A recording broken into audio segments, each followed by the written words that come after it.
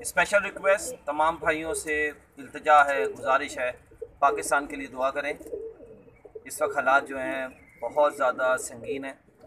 और आज मुझे एक चीज़ की बस खुशी है कि अल्लाह बख्शे मेरे दादा और मेरे वालिद जो हैं, वो हमारे साथ नहीं हैं। वो अल्लाह के पास हैं। शायद उनका दिल फट जाता, वो ये बर्दाश्त नहीं कर सकते कि जिस तरह हम इंडिया से माइग्रेट करके उन्नीस सौ सैंतालीस में यहाँ आए थे कि हम एक आज़ाद मुल्क पाएँगे और बनाएँगे और कलमे पे और आप वसल्लम की सीरत के मुताबिक ज़िंदगी गुजारेंगे।